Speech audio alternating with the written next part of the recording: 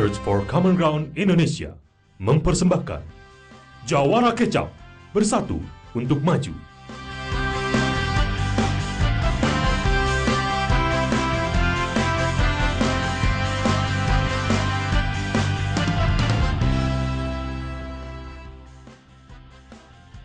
Diceritakan di episode sebelumnya, Ibu Yayu yang ketahuan berbohong tentang resep biskuit bola kini ditinggalkan oleh pelanggannya. Juga diceritakan tentang Damar yang kabur dari rumah, tapi telah memutuskan untuk pulang dan menyelesaikan masalahnya dengan ayahnya. Kira-kira apakah semuanya akan berjalan dengan baik? Langsung saja kita dengarkan. Episode 18 Solusi untuk Ibu Yayu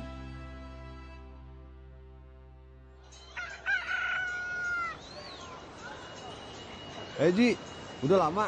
Hai Johan, enggak kok baru. Gimana Damar? Alhamdulillah baik. Bapak udah ngobrol banyak sama Damar. Dan kayaknya sekarang mereka jadi dekat. Bagus dong. Joko, ya. Aku minta cola pakai es dong, sama gorengannya. Hei, hei, makasih ya. Waktu itu udah bantu nyari Damar. Terutama makasih buat Ana yang udah nasihatin Damar. Jadi dia mau pulang.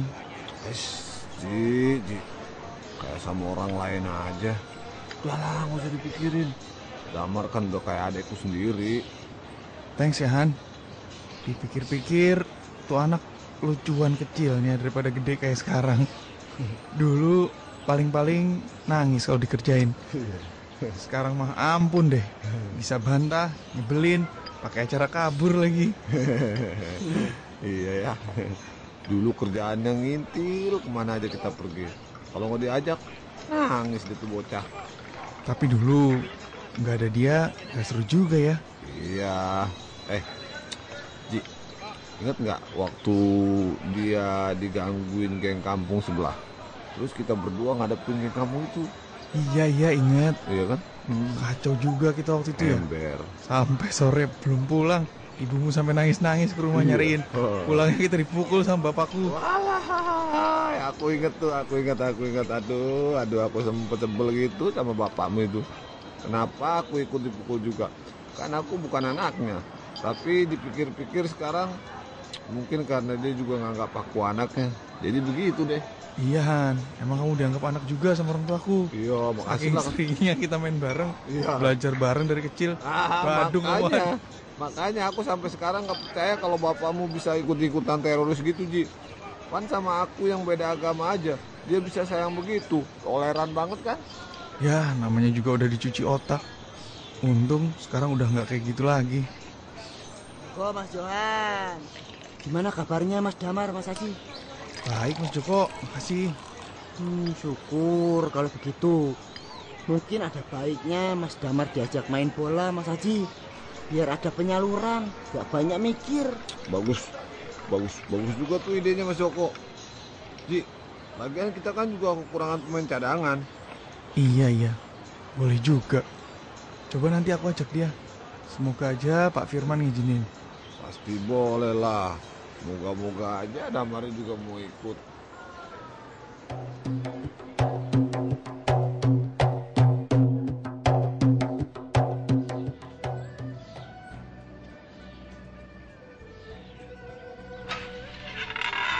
Permisi.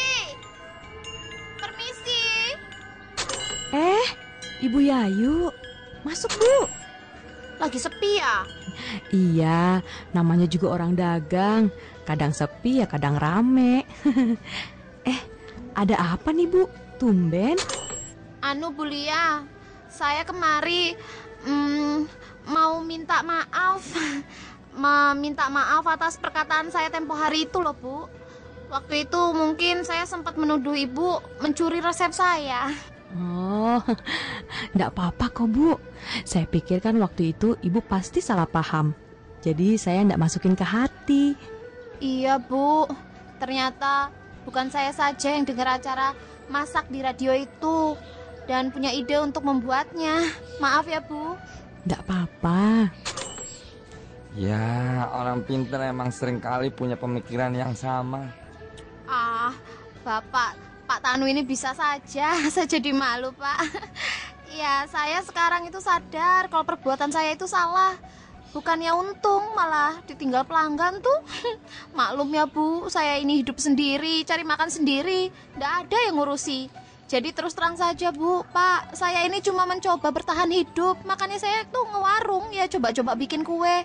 Tapi sekarang mana warung kecil saya bisa bersaing dengan toko ibu yang sebagus ini kan nggak mungkin murah-murah lagi harganya Aduh, bagaimana ya? lo kenapa toh pak Eh, saya itu kan cuma cerita saja kok nggak ada maksud apa-apa bener pak Bukan, bukan Bu. Saya hanya sedang berpikir bagaimana agar kita bisa sama-sama untung. Hmm, bagaimana kalau warung Bu Yayu itu bukanya sore sampai malam saja? Ah, karena toko kami ini tutup sore hari.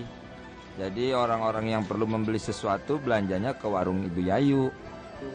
Iya bu, atau ibu bisa menambahkan barang dagangan ibu dengan sayur mayur, ikan, atau daging segar. Jadi warung ibu itu bukanya dari pagi, pagi-pagi sekali deh pokoknya. Lalu buka lagi sore sampai malam. Gimana bu? oh iya iya iya saya ngerti wah boleh juga tuh idenya bu toko ini pasti nggak jual sayur mayur toh atau ikan atau daging gitu nggak toh bu Adanya yang udah di kaleng Bu. Baiklah kalau gitu saya akan coba Pak Bu. Jadi siang harinya saya tutup untuk istirahat setelah buka warung pagi-pagi. Nah buka lagi sore hari sampai malam gitu maksudnya toh? Iya. Aduh saya senang dengan ide warung saya tuh jadi warung sayur juga Pasti ibu-ibu datang ke warung saya untuk belanja bahan masakan Terus bisa bikin gosip-gosip lagi deh Paling enak ngegosip itu memang pagi hari sih Bu Pak Ibu Yayu ini ada-ada aja.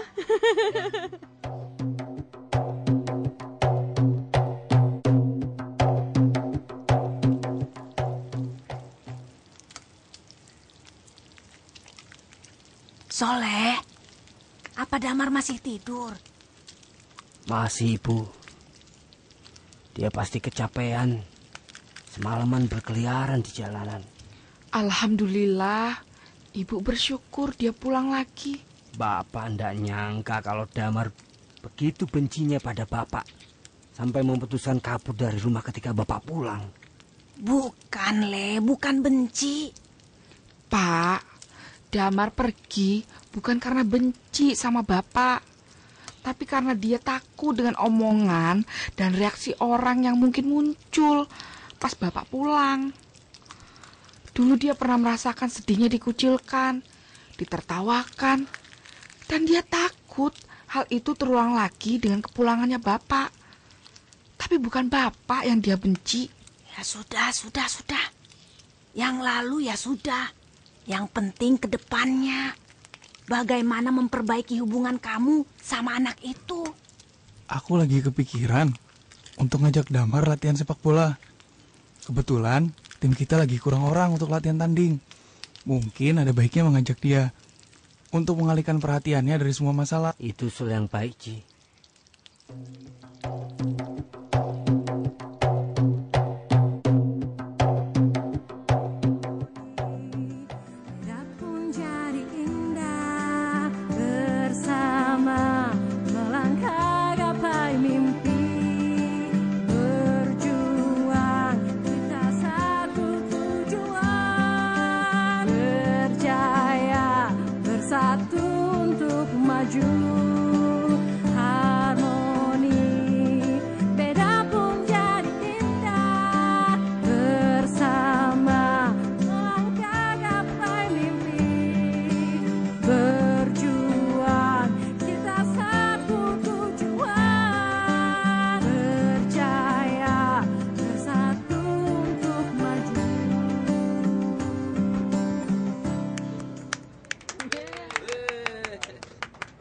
Ana Lidana dan Lidado bagus sekali, bagus sekali, bagus sekali.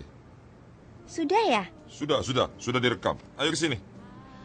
Hmm, beneran sudah bagus tuh Pak Henry Nggak perlu diulang lagi Oh enggak, enggak, enggak perlu. Udah bagus kan ya Ahmad? Sudah kok. Ini lagi di copy ke CD biar kalian bisa bawa pulang. Nah, kalau sudah direkam, bisa diputar berulang kali. Jadi pendengar banyak yang tahu dan cepat hafal. Kami sudah meminta seluruh penggemar Maju United untuk menonton pertandingan semifinal sambil membawa radio mereka.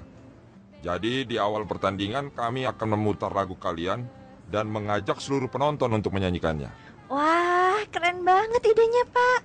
Iya nih, kalau benar-benar bisa begitu, pasti semangat Maju United langsung naik bisa naik 100% nih. Memang itu tujuannya.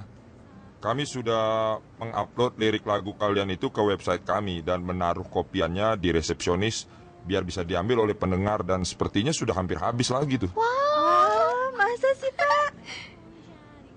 Aduh, aku senang banget. Banyak yang suka lagu kita, Lydia. Tapi aku jadi tegang, jadi deg-degan kayak gini. Iya nih, semoga aja juri di Search for School Idol juga menyukai lagu-lagu kita ya, An. Udah, tenang aja. Pasti suka deh. Wong lagunya bagus dan enak didengar kok. Kalian nyanyinya seperti nyanyi tadi aja, santai, tanpa tekanan, gak usah mikirin apa-apa. Hasilnya pasti sebagus tadi. Nih, udah jadi kopiannya. Wah, makasih Mas Ahmad. Makasih ya, Mas Ahmad, Iya, Pak. Henry. Orang tua kalian itu pasti bangga sekali ya punya anak gadis yang berbakat seperti kalian ini.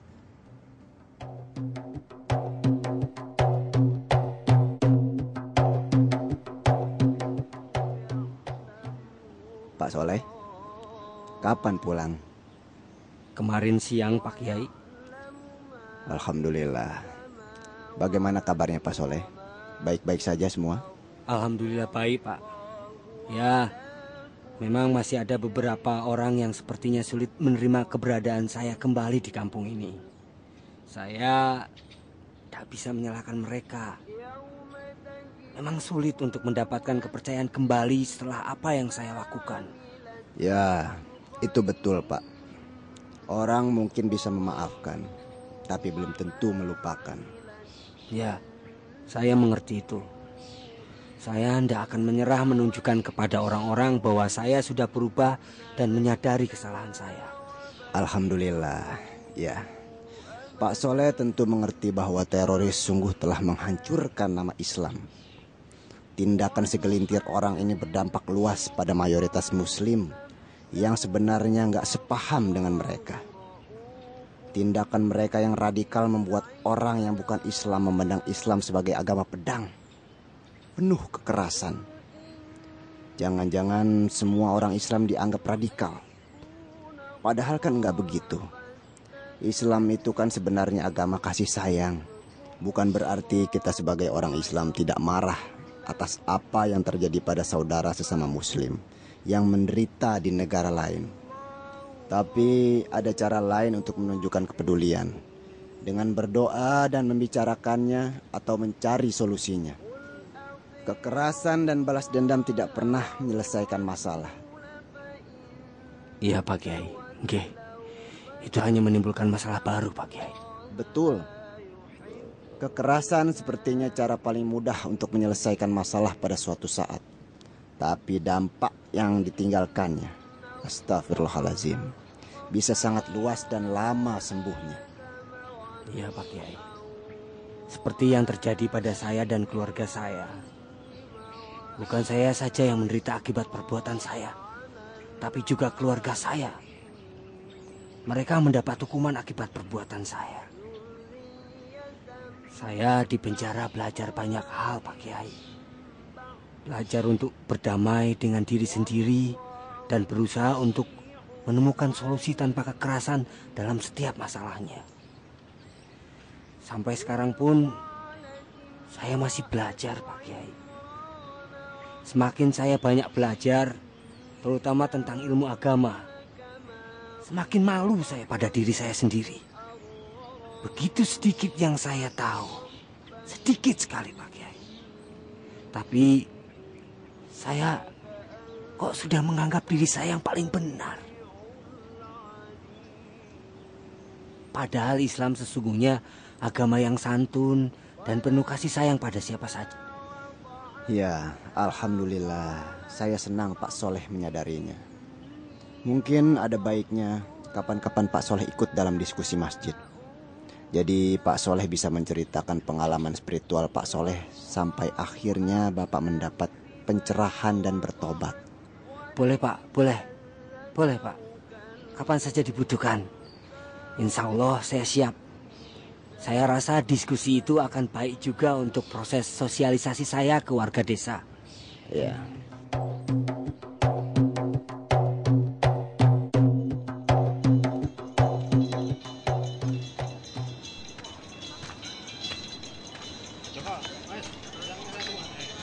Johan, mau latihan ya? Eh anak, iya nih, kamu dari mana? Kita habis rekaman dong. Iya kan Lydia? Iya dong, cantik-cantik ini udah ngeluarin CD loh. Ayo, siapa yang mau minta tanda tangan sama kita sekarang? Ayo. Wah, udah jadi artis nih ceritanya.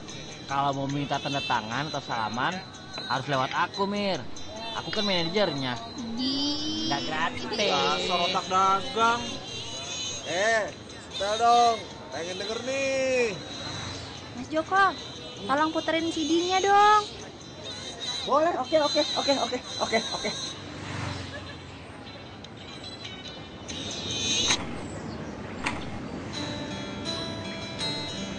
Kawan kini sudah saatnya Maafkan perbedaan Raga manusia di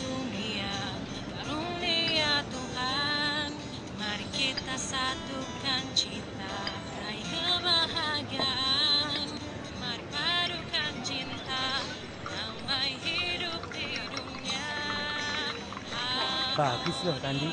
Juan, jadi kalian hebat juga ya. Ini liriknya, dihafalin ya.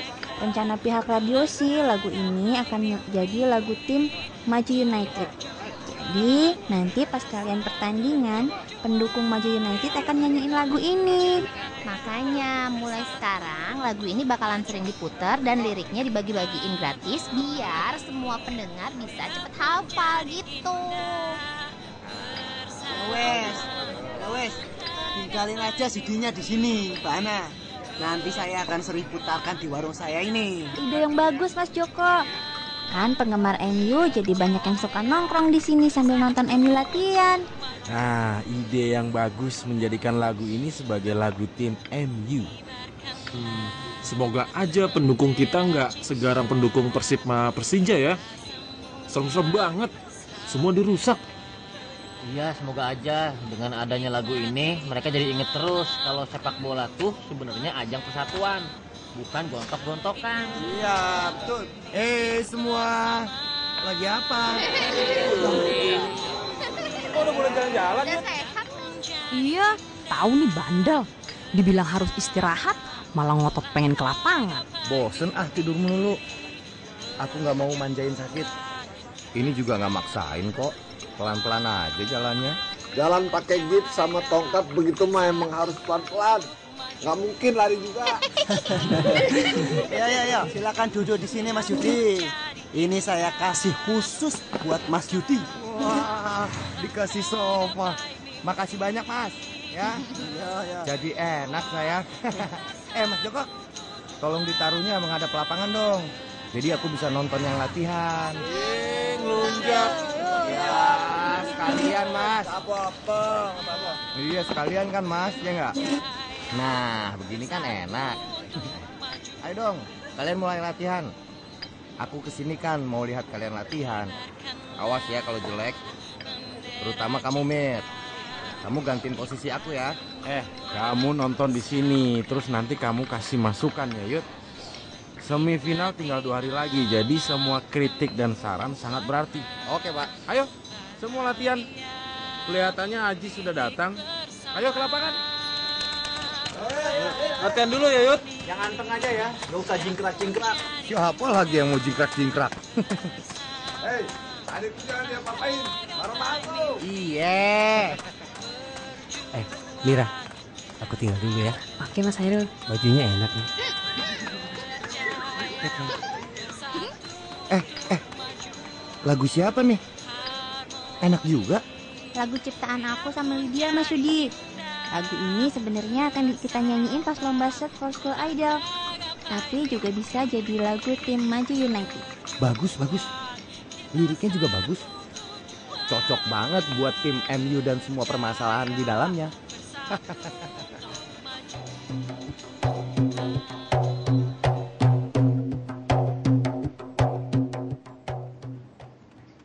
Oke, sore ini kita latihan passing ya, dribbling, heading, terus latihan tanding.